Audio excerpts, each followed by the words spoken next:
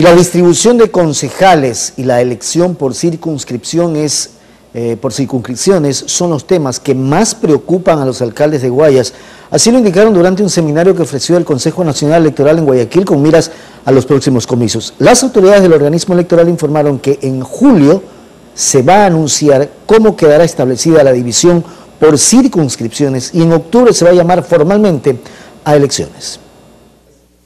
El Consejo Nacional Electoral ya en julio debe anunciar cómo será la división de circunscripciones seccionales del 2014.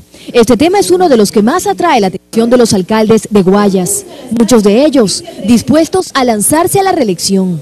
¿Cuántos concejales se escogerán en cada cantón? Es otra de las dudas. En el caso de Bucay bajarían de 7 a 5, lo cual lo vemos eh, con muy buenos ojos, de manera muy positiva. Nosotros somos cantones en su mayoría rurales.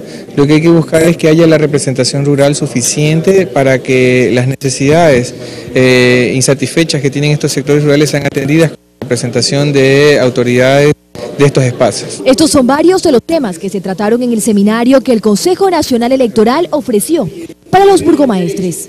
Iniciamos el taller con los alcaldes. La próxima semana tendremos con los jefes políticos, tenientes políticos. Ellos también están de acuerdo con la creación de nuevos recintos electorales. Son necesarios para casi todos los cantones, por lo menos en particular para el que yo represento, es importante. Nosotros no vamos a decir, saben que vamos a generar 10 recintos electorales o 100 recintos electorales. Esto, precisamente estos talleres, son para recabar la información necesaria. Con estas elecciones también se nutrirá el registro electoral. El vicepresidente del CNE explica de de tal manera de que podamos separar el registro electoral de los ciudadanos que normalmente han venido votando ciudadanos que normalmente no han venido votando en los últimos procesos electorales. El calendario ya está listo. En octubre se llamará a elecciones, mientras el inicio de la campaña será el 7 de enero del 2014 y las elecciones el 23 de febrero. Allí escogeremos a nivel nacional a tres prefectos, 552 concejales urbanos, 747 rurales y 4.080 vocales de juntas parroquiales. Dayana Monroy, Telerama Noticias.